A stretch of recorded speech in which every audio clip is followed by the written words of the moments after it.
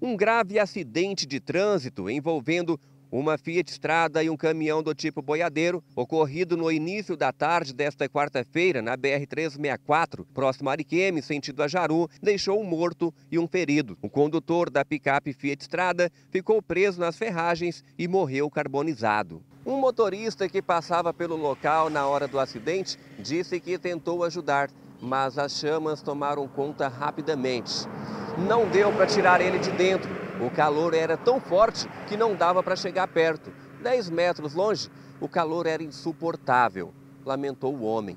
Equipes de resgate do Corpo de Bombeiros e também das Polícias Rodoviária Federal e Militar foram acionadas e compareceram para atender a ocorrência e constataram o óbito do motorista da picape estrada. Não há informações confirmadas sobre a dinâmica do acidente, mas o caminhão estaria entrando em uma estrada vicinal quando ocorreu a violenta colisão e os veículos começaram a pegar fogo. A identidade da vítima ainda não havia sido divulgada pelas autoridades até o fechamento desta reportagem.